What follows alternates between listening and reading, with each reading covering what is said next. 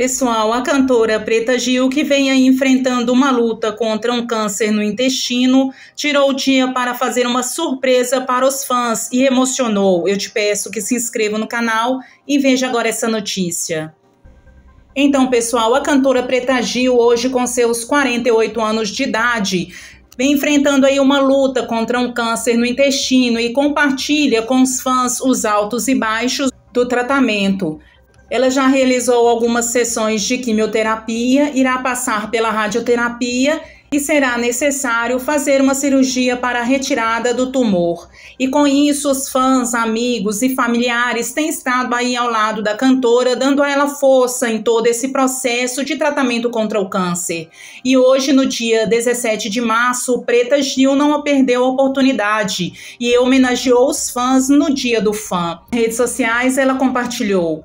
Hoje é dia do fã, mas para falar verdade, eles já são como minha família há anos. A nossa relação é de muito respeito e admiração.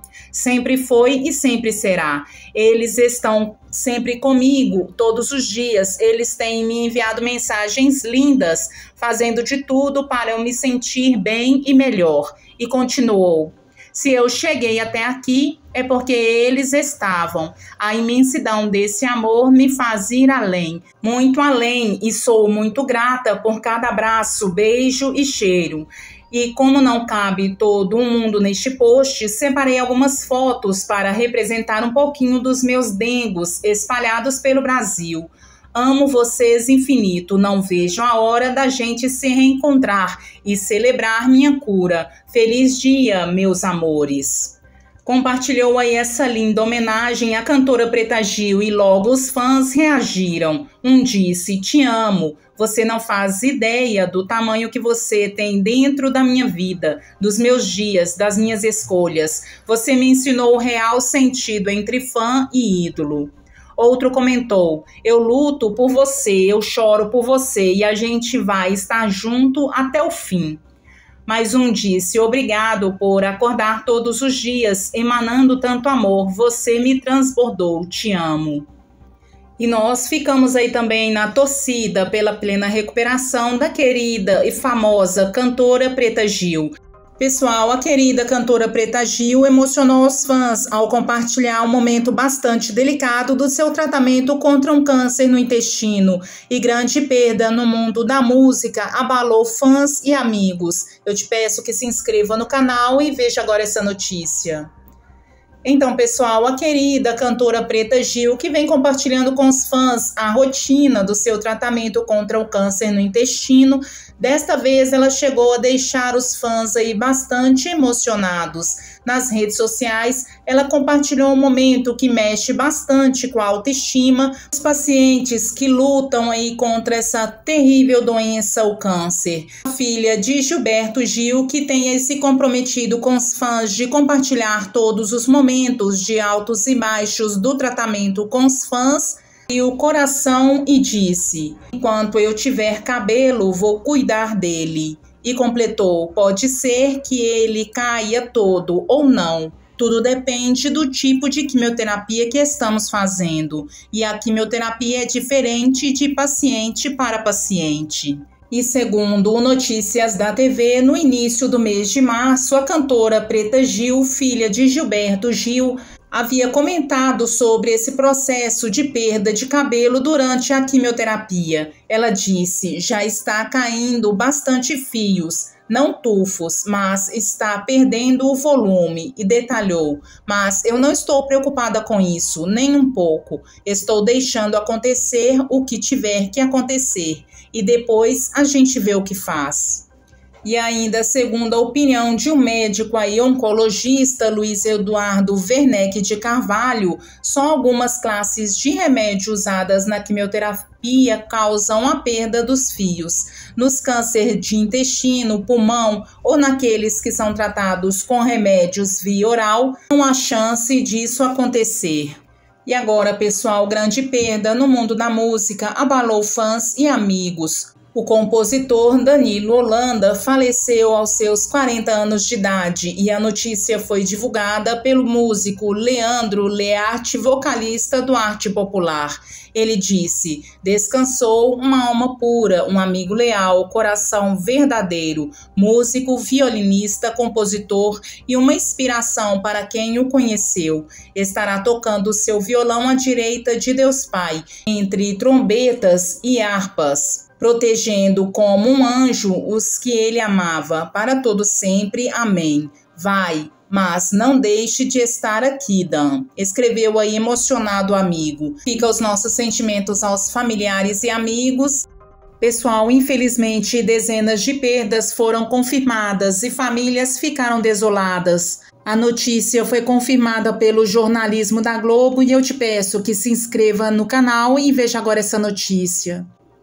Então, pessoal, infelizmente, tristes perdas foram confirmadas. Centenas de pessoas perderam a vida após aí um grande ciclone tropical chamado Fred atingir aí três cidades da região da África.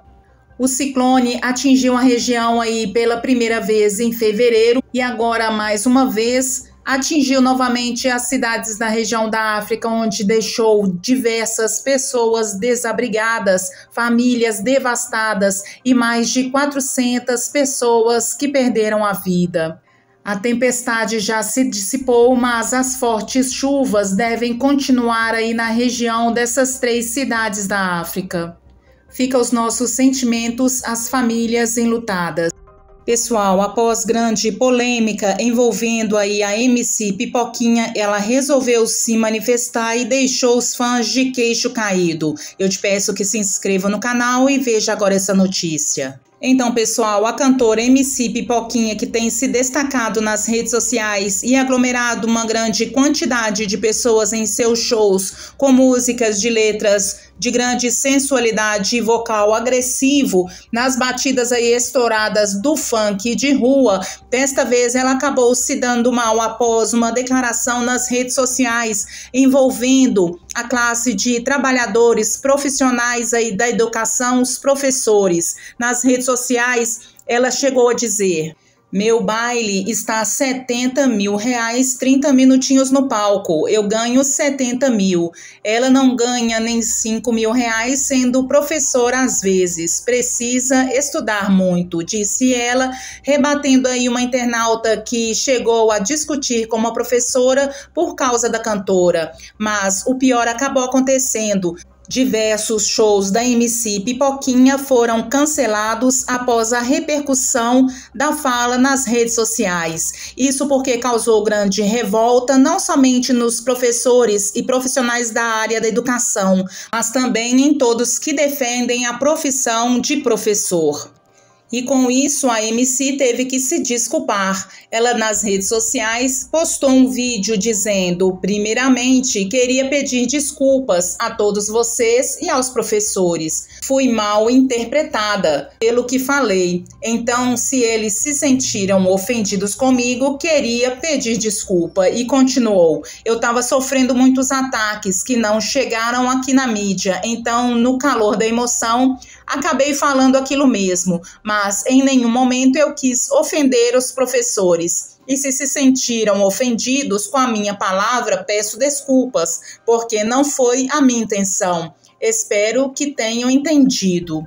Você, o que achou aí das declarações da MC Pipoquinha sobre o salário dos professores? Deixe a sua opinião aqui pra gente nos comentários.